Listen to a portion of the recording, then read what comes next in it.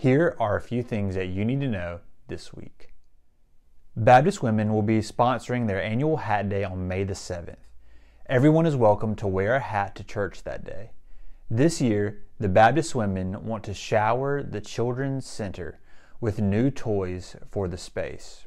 An Amazon wish list has been created by Pat, and that has been emailed to the church.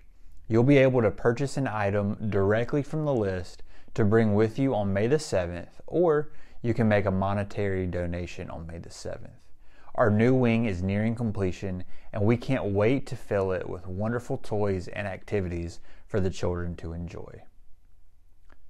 This afternoon, we will have our very first Fists at First event in the chapel at 6:30.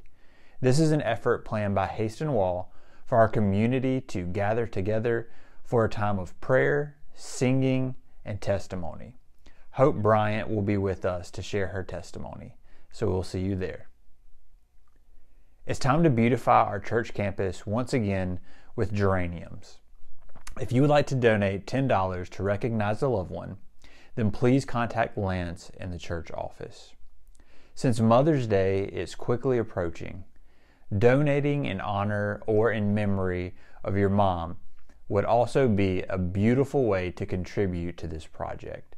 Geranium memorials and honorariums will be posted in the June Herald.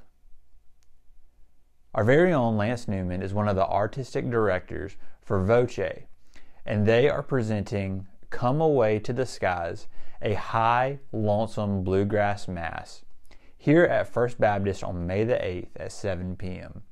This concert is open to the public, so come out and enjoy the show.